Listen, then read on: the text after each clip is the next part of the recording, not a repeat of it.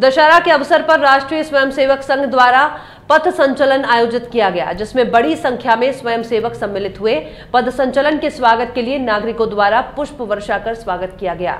वहीं क्षत्रिय पूर्विया राजपूत समाज के तत्वाधान में, पूर्विया भवन में समाज के लोगों ने शस्त्र पूजा की। कार्यक्रम के आरंभ में समाज के लोगों ने माँ दुर्गा की पूजा की और आराधना कर हवन किया गया।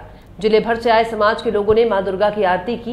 पूरा भवन जयकारों से गूंज उठा। शस्त्र पूजा के बाद गणमान्य लोगों ने क्षत्रिय पूर्विया राजपूत समाज को एक बताया। वहीं इस एकता को बनाए रखने की बात की गई। साथ ही साथ कहा गया कि हम सभी एकता के सूत्र में हमेशा बंधे रहें। इसी के लिए सभी को निरंतर प्रयास किया जाना चाहिए। इस अवसर पर प्रमुख रूप से रमेश पटेल, भाई साहब पटेल, रामविलास पटेल, बलराम सिंह बेस उदय राजपूत, राघवेंद्र सिंह पूर्विया, कविंद्र रजयवार राकेश पटेल, विनोद पटेल, महेंद्र पटेल के साथ बड़ी संख्या में सामाजिक बंधु उपस्थित रहे। और हमें काफ़ी सफलता मिली है। हम हम देखें तो मुगल काल के टाइम से एक भारत को हमेशा बांटने का प्रयास किया गया है। किसी, हर हर आदमी को एक उसमें बांट दिया गया था। कोई को पूर्विया बना दिया, कोई को राजपूत बना दिया कहीं को हर वर्ग में उसको बांट के और एक भारत का एक बहुत बड़ा, भारत के साथ साथ हम कहें कि मानवता का भी बहुत बड़ा नुकसान हुआ था।